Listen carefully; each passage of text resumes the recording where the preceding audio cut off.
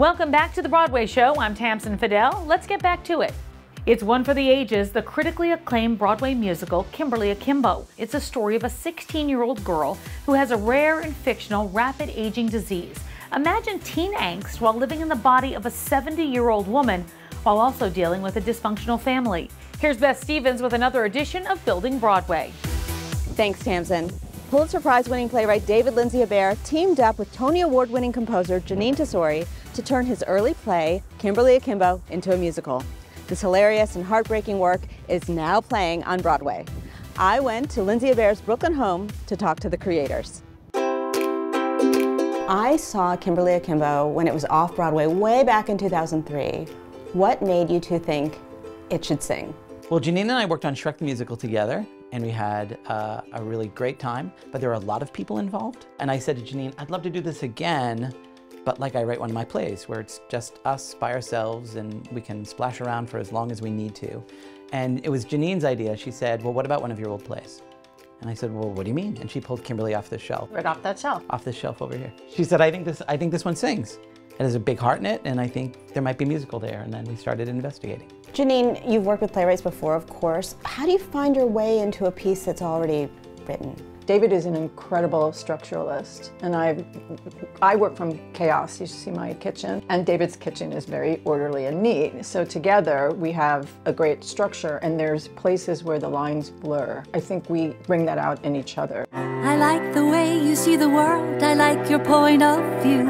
A little sly, a little strange, a little bit askew. Do you find that there are stories that appeal to both of you? That you know you both want to tell? Are there any themes that you're finding in common? The thing that that I can trace through all of my shows, they tend to be about outsiders who end up in an upside down world and have to find clarity in that crazy world. Ginny and I have very similar senses of humor and sensibilities. I, I grew up working class and um, you know, really horrible things happened to my family and friends and we, as the more horrible they were, the funnier they sometimes were, that we used humor as a coping mechanism.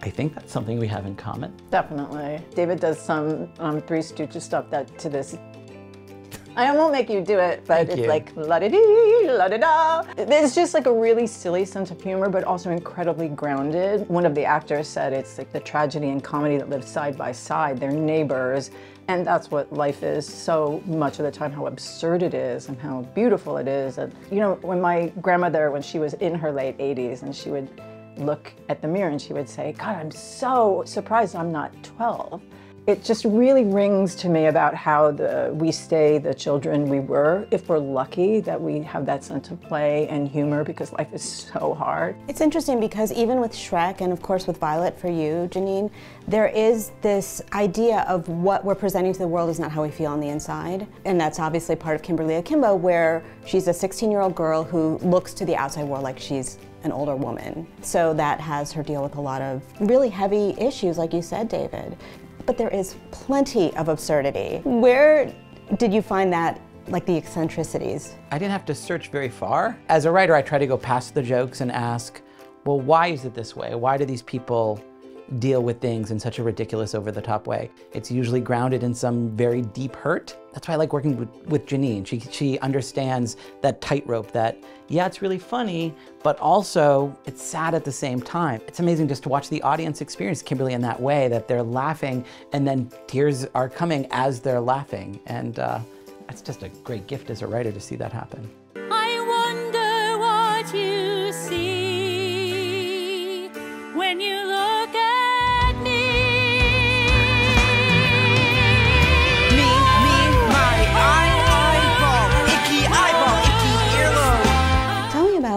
music and how you found the sound for this this play that had no no music before. How did you find the sonic world for it? One of the ways that I find it, the way into a show is the easiest song, the straight AAB song. I don't usually um, stick to song form. I really like going in and out, and I think that's one of the reasons that we've worked really well together is there's this idea of what can a song do and when should you stop because your your ear can't take anymore. So it's always easier for me to start with that that kind of um, simple one and then expand from there. Anagram is my favorite song in there because David's a really great you know, he is a master of the puzzleistic arts, I would say.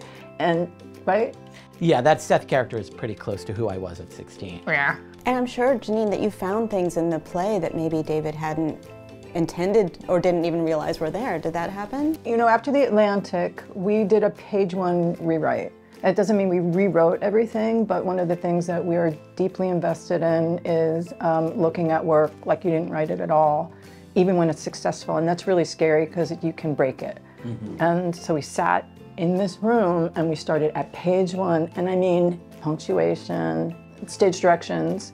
Stage directions in a play are incredibly important. A lot of people don't read them, and they should because they contain the voice of the playwright. They're the playwright in the back of the car going, "You want to get off at exit 13 on, on in the Palisades Parkway," and you know they're they're whispering in your ear. Look, working with Jeanine is very different than collaborating with other people because we have such a mutual trust and respect that it, it sort of does feel like I'm working with myself. But instead of arguing with myself, I'm arguing with Jeanine. And what's best about her is that she doesn't shut down anything. So we, even if an idea doesn't click, this is for both of us. But Jeanine was right too about saying, we're looking at the work as if it's brand new. I mean, that was what was most exciting for me to re examine something 20 years later, because whoever I was 20 years ago, that's who wrote that play. My concerns were whatever they were at the time. I, of course, connected more with the teenage characters. And now, all these years later, I'm a dad with two boys, and I have a different relationship with child and parent stuff. And so, I, to reinvestigate it from this new place for me is, is a pretty major thing. But then also to investigate it through, through song changes the play entirely. And that's just the magic of music and what Jeanine brought to it. It's a completely different animal, and it's more dimensional and it's more emotional um, because of what she's brought to it.